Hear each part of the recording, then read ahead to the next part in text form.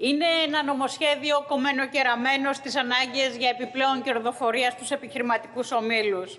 Και δεν φτάνει το νομοσχέδιο με τα 60 άρθρα, αλλά προκλητικά μέσα από μία τροπολογία που ουσιαστικά αντιστοιχεί σε ένα μίνι νομοσχέδιο, αφού περιέχει 15 άρθρα σε 74 σελίδες και τα φέρατε χωρίς συζήτηση, ε, να μην ακουστεί τίποτε.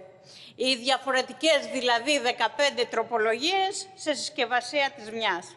Δίνεται και εκεί προκλητικές χορηγίες στους επιχειρηματικούς ομίλους, εντάσσεται στον αναπτυξιακό νόμο και νέους τομείς για να εξασφαλίσουν τσάμπα χρήμα από τα λεφτά του λαού, σε όποιον θέλει να φτιάξει χώρους στάθμευσης ή κέντρα αποθεραπείας και αποκατάστασης αμαία, αντί το ίδιο το κράτος να τις φτιάξει και να είναι δωρεάν για τους ασφαλισμένους.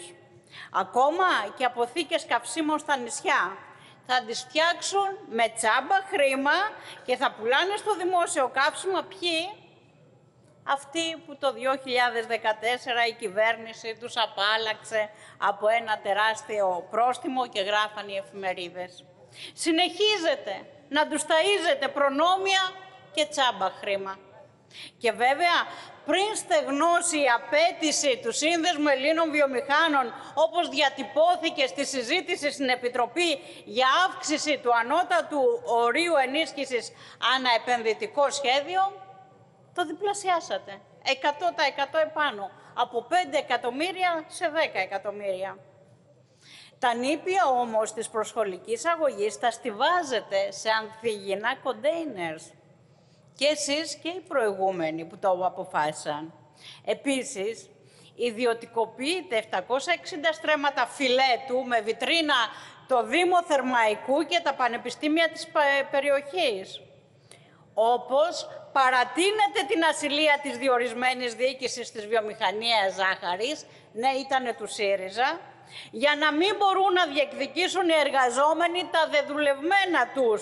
Προχτές μου έλεγε εργαζόμενος, πήγε δικαστικά να διεκδικήσει τα δικαιώματά του, απορρίφθηκε λόγω ασυλίας της διοίκησης.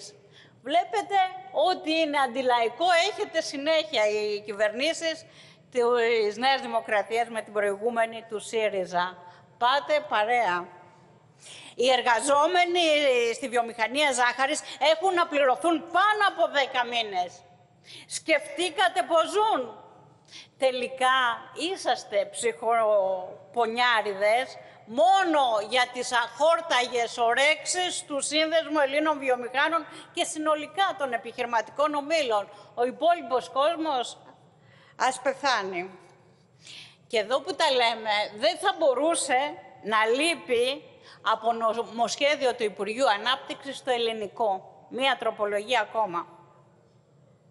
Φροντίζεται θέσπιση ειδικής νομοθεσίας για παράκαμψη των όποιων γενικών διατάξεων που ισχύουν για όλους, ώστε να παρακαμφθούν όποια πιθανά εμπόδια για τη νέα πόλη μέσα στην πόλη του ελληνικού. Με λίγα λόγια, η κυβέρνηση της Νέας Δημοκρατίας έρχεται να καθαρίσει ακόμα περισσότερο το τοπίο για λογαριασμό του επενδυτή σε σχέση με τα αναγκαία έργα υποδομής που περιλαμβάνει η επένδυση, ορίζοντας τώρα και το θεσμό του ανεξάρτητου μηχανικού. Και είναι προκλητικό ότι υποχρεώνεται το δημόσιο να παραλαμβάνει τα διάφορα έργα εντός προθεσμίας 15 ημερών. Διαφορετικά, αν δεν τα παραλάβει, θεωρείται ότι τα παραλαμβάνει σιωπηρά. Ντροπή, ούτε στοιχειώδης έλεγχος. Αλλά και στο νομοσχέδιο με τα 60 άρθρα δημιουργείται μια αυτοτελή ε, υπηρεσία, τη ΔΜΕ, που υπάγεται απευθείας στον Υπουργό, με στον όποιο Υπουργό, δεν το λέω μόνο για σας, ε, με δικό της καθεστώς διοικητικής λειτουργίας και οικονομικής διαχείρισης. Θα λειτουργεί αυτόνομα, αφαιρώντας αντικείμενα και δυνατότητα δράσης από άλλες υπηρεσίες. Ωστόσο, με όποια δομή και να έχει, θα αντιμετωπίσει προβλήματα, με επικαλύψεις μεταξύ ελεκτικών αρχών και υπηρεσιών, με τον αποσπασματικό σχεδιασμό των ελέγχων, χωρίς τη χρήση ολοκληρωμένων συστημάτων και κριτηρίων, με βάση το ρίσκο και τη στοχοθεσία, την ανομοιογένεια των ελεκτικών προτύπων, τους μειωμένους ανθρώπινους οικονομικούς πόρους και ένα σωρό άλλα θέματα. Η ΔΙΜΕΑ θα λειτουργεί όλο το 24ωρο, οι εργαζόμενοι θα δουλεύουν νυχτερινά αργίες και πρέπει να ισχύει εργατική νομοθεσία με μόνιμες άδειες και ρεπό που δικαιούνται. Όμως, μέσα από τα στοιχεία του Γενικού Λογιστηρίου του κράτους υπάρχει αμφιβολία, υπάρχει ερωτηματικό, εάν αυτό θα καλύπτεται. Στην ουσία, Πρόκειται για εναρμονισμένη προσαρμογή στις ανάγκες του αστικού κράτους για να εξασφαλίζονται οι απαραίτητοι όροι του, του δίθεν ισότιμου ανταγωνισμού σε καπιταλιστικές επιχειρήσεις. Αν και η πάταξη του παρεμπορίου προπαγανδίζεται πολλές φορές από τις κυβερνήσεις ως ισοτηρία σανίδα για τις επιχειρήσεις των μικρεμπόρων, στην πράξη πρόκειται για κοροϊδία. Γι' αυτό αναπαράγεται το φαινόμενο συνεχώς. Ποτέ δεν χτυπήθηκε η ρίζα, δηλαδή οι μεγάλες εταιρείες όμιλοι που έχουν και κράτη πίσω τους, αλλά μόνο η μαρίδα του παρεμπορίου. Άλλωστε, σε καμιά περίπτωση τέτοιου είδους έλεγχοι δεν αναιρούν τους βασικούς νόμους της ελεύθερης αγοράς, την κυριαρχία των μεγαλύτερων επιχειρήσεων έναντι των μικρότερων, τον καπιταλιστικό δηλαδή ανταγωνισμό που οδηγεί το μεγάλο ψάρι να τρώει το μικρό. Ούτε αναιρούν τις γενικότερες αντιλαϊκές πολιτικές. Αντίθετα, πολλές φορές και οι ίδιοι αυταπασχολούμενοι μικρέμποροι μπορούν να μετατρέπονται σε θύματα αυτού του ελέγχου, αφού στην πράξη οι μηχανισμοί αυτοί ασκούν όλοι τους την αυστηρότητα στους μικρούς, ενώ οι μεγαλύτερες επιχειρήσεις τις καπουλάρουν με ασήμαντα ποσά κερδισμένοι από το σχέδιο νόμου είναι οι μεγάλοι όμιλοι, χαμένα βέβαια τα εργατικά λαϊκά στρώματα. Αυτή είναι η όλη φιλοσοφία και ιδεολογία σας. Η προστασία των καταναλωτών από το παρεμπόριο είναι προσχηματική. Από το πρώτο άρθρο κάνετε λόγο καθαρά και αποκαλυπτικά για υπεραξία εμπορικών σημάτων, αύξηση φορολογικών εσόδων, συγκαλύπτοντας ποιος πληρώνει την υπεραξία των σημάτων και την αύξηση των φορολογικών εσόδων.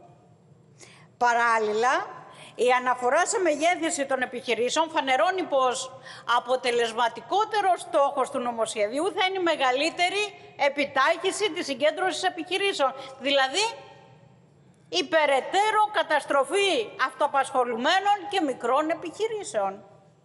Επίσης, η ιδιαίτερη προσήλωση σε πνευματικά δικαιώματα φανερώνει και τον αντιδραστικό χαρακτήρα του νομοσχεδίου, αφού πρακτικά μιλάει για μέτρα στήριξης της κερδοφορίας των πολυεθνικών επιχειρήσεων του λογισμικού, των επιχειρήσεων ταινιών κλπ.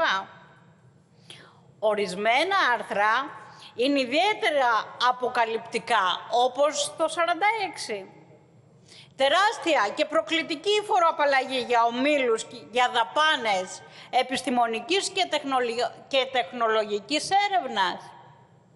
100% υπεραπόσβεση, δηλαδή για 100 ευρώ δαπάνη, 200 ευρώ απαλλαγή εισοδήματος από το φόρο.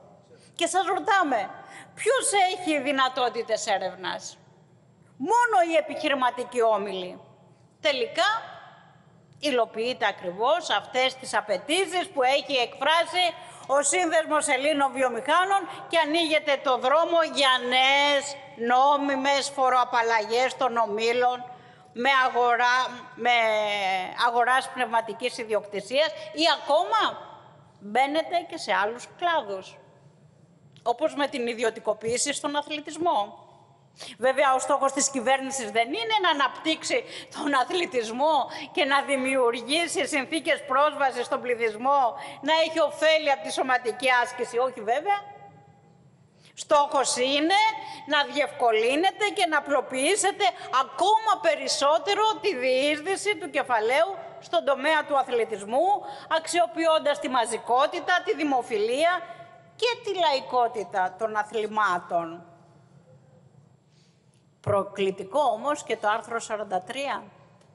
Καταργείται ό,τι ισχύει σήμερα για στοιχειώδη υπολογισμό της φορολογικής απαλλαγής και θα καθορίζεται με υπουργική, ναι, με υπουργική απόφαση. Πρόκληση. Όταν φορολιστεύεται τη φτωχολογιά. Επεμβαίνεται όμως και στο τεχνικό και οικονομικό επιμελητήριο. Ανατίθεται στο ΤΕΕ η αρμοδιότητα της πιστοποίησης προσώπων. Βέβαια, η ιστορία των πιστοποιήσεων επαγγελματικής επάρκειας δεν είναι καινούρια. Αποτελεί δομική επιλογή της Ευρωπαϊκής Ένωσης στα πλαίσια απελευθέρωσης της κίνησης προσώπων, υπηρεσιών, κεφαλαίων, του Μάστρεκτ δηλαδή. Και δεν είναι μόνο το Μάστρεκτ, αλλά και η Μπολόνια. Και όλα αυτά προκειμένου να εξυπηρετηθεί η ανταγωνιστικότητα και η κερδοφορία του κεφαλαίου, υποβαθμίζοντας τα πτυχία και εντάσσοντας τη διαχρονική απέτηση για πλήρη αποσύνδεση πτυχίου επαγγέλματος και επαγγελματικών δικαιωμάτων. Η δημιουργία Μητρώου στοχεύει ακριβώς αυτή την κατεύθυνση. Δεν είναι τυχαίο ότι το αγωνιστικό συνδικαλιστικό κίνημα εναντιώθηκε στην ίδρυση Μητρώου, απέτρεψε την εφαρμογή του, αποκάλυψε την προσπάθεια της κυβέρνησης να υποβαθμίσει τα πτυχία, να καθιερώσει τις κάθε είδους πιστοποιήσεις, να κατακαιρματίσει τις ειδικότητες των τεχνικών και να προωθήσει την περαιτέρω συγκέντρωση των τεχνικών έργων στις μεγάλες τεχνικές εταιρείες. Αυτός είναι ο στόχος. Ταυτόχρονα, με το συγκεκριμένο άρθρο υποβαθμίζονται τα πτυχία στα πλαίσια της διαβίου μάθησης, καθιερώνονται πιστοποιήσεις και καταρτήσεις που υποβαθμίζουν την τεχνική επαγγελματική εκπαίδευση και ενισχύεται η περαιτέρω συγκέντρωση των τεχνικών έργων. Και μετά μπλοκάει και η μηχανική. Τα ίδια κάνετε και στο οικονομικό επιμελητήριο. Προωθείται τη σύμπραξή του με νομικά πρόσωπα ιδιωτικού δικαίου σε, σε τομείς της αρμοδιότητάς του για έργα ή παροχή υπηρεσιών. Δηλαδή, ανοίγεται το δρόμο σύμπραξης με ιδιωτικά κέντρα ή εταιρεία για την υλοποίηση προγραμμάτων κατάρτισης οικονομολόγων που χρηματοδοτούνται από το ΕΣΠΑ, που σημαίνει ότι θα μπουν εταιρείες στη διαχείριση αυτών των προγραμμάτων.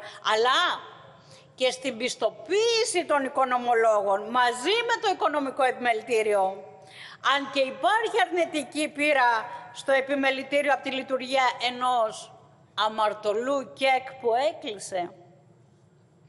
Επιπλέον, ανοίγει το δρόμο για τη λειτουργία του οικονομικού επιμελητηρίου με ιδιωτικο-οικονομικά κριτήρια και την παράδοση υπηρεσιών του σε ιδιωτικές εταιρείες που θα έχουν πρόσβαση στα μητρώα των μελών, στα μητρώα λογιστών φοροτεχνικών και στην έκδοση αδειών λογιστών φοροτεχνικών, στα ψηφιακά δεδομένα, στα αρχεία, στην ψηφιακή υπογραφή και σε ένα σωρό άλλα. Δηλαδή, τα προσωπικά δεδομένα πάνε περίπατο. Ιδιωτικοποιείται υπηρεσίες του οικονομικού επιμελητηρίου για να κερδίσουν οι εταιρείες από τα προγράμματα και τη σύμπραξη μαζί του αποτελούν ένα βήμα στις κατευθύνσεις της Μπολόνια, ώστε το επιμελητήριο να πιστοποιεί δεξιότητες επαγγελματικών δικαιωμάτων, υποβαθμίζεται ακόμα περισσότερο τους τίτλους σπουδών από ανώτατα ιδρύματα. Εισάγεται αλλαγές στα πειθαρχικά συμβούλια που θα κρίνουν με βάση τον κώδικα δεοντολογίας των λογιστών και τους αντιλαϊκούς νόμους που δένουν χειροπόδαρα αυτοαπασχολούμενους και μισθωτούς λογιστές. Αυτό κάνετε.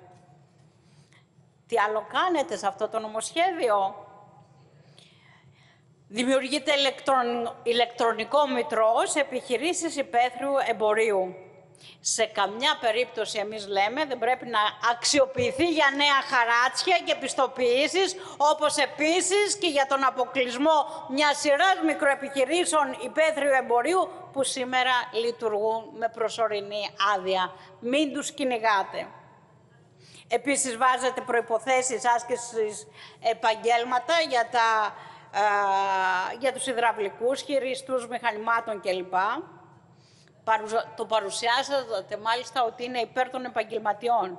Εμείς σας το λέμε, διαφωνούμε εξ αρχής με το θεσμό ανανέωσης της επαγγελματικής δραστηριότητας. Γιατί το πτυχίο πρέπει να είναι η μόνη προϋπόθεση ακριβώς για αυτή την άδεια.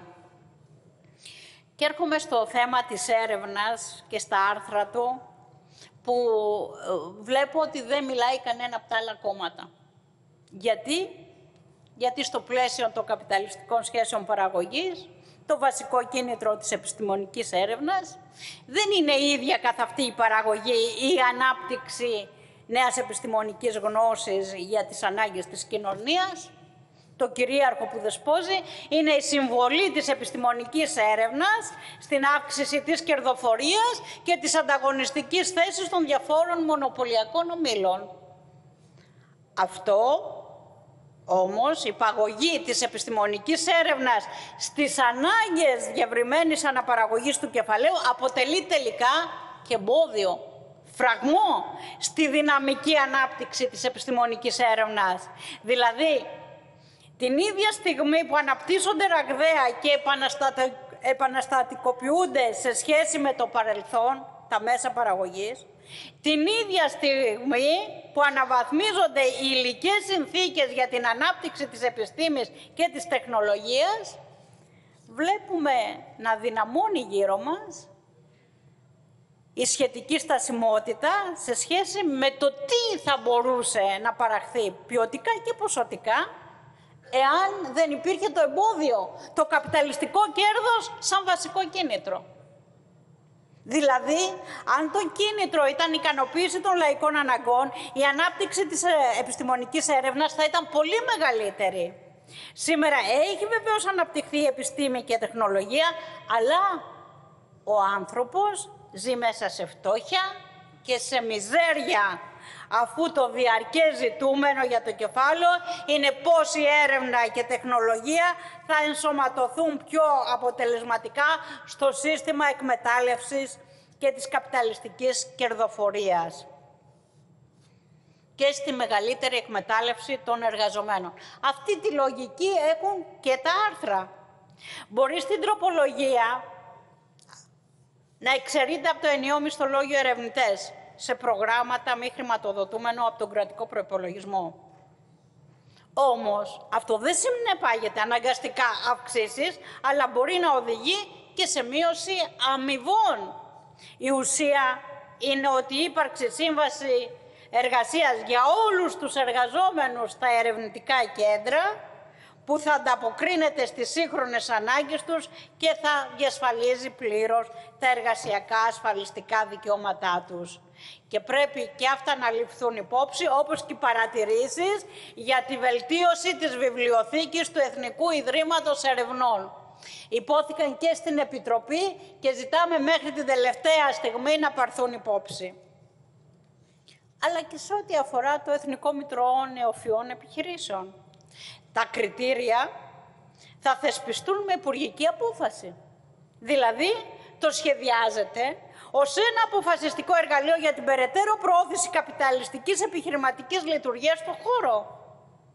Επίσης, είναι πρόκληση να βάζετε στον ΕΛΙΑΜΕΠ δικαιούχο στη χρηματοδότηση που είναι μια παράδεκτη ρύθμιση. Δίνεται ζεστό χρήμα σε ένα φορέα πλήρως ενταγμένο στους μηχανισμούς των υπεριαλιστικών επιτελείων και τους πολιτικούς σχεδιασμούς της αστικής τάξης. Ο λαός μας δεν έχει τίποτε θετικό για τη ζωή του και τις ανάγκες του να περιμένει από αυτό.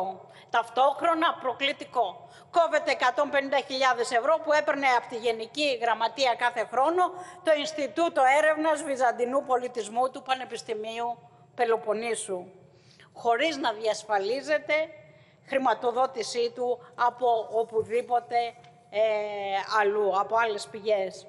Είναι άδικο ε, από τη στιγμή που με ειδικό λογαριασμό επιδοτείται το ΕΛΙΑΜΕΠ να κόβεται από το Ινστιτούτο Έρευνας του Βυζαντινού Πολιτισμού. Όπως καταλαβαίνετε, έχουμε χίλιους δύο λόγους και πολλούς δεν, τους, δεν προλαβαίνουμε να τους πούμε που καταψηφίζουμε αυτό το αντιλαϊκό νομοσχέδιο.